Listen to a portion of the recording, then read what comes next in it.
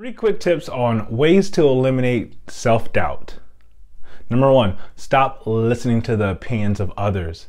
When you start to express your vision and your dreams to small minded people, those small minded people will put you down because your vision is bigger than their life and their own goals.